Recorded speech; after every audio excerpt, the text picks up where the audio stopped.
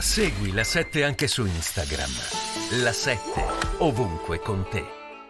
Avrebbero pensato che già potesse avere bisogno di loro, ma ci sono sempre stati. Allora- Sentivo Bersani prima da Lilli, no? diceva questo è un genere umano, non è il colpevole, non cerchiamo i nomi, perché volete che in questo Parlamento non ci siano persone così.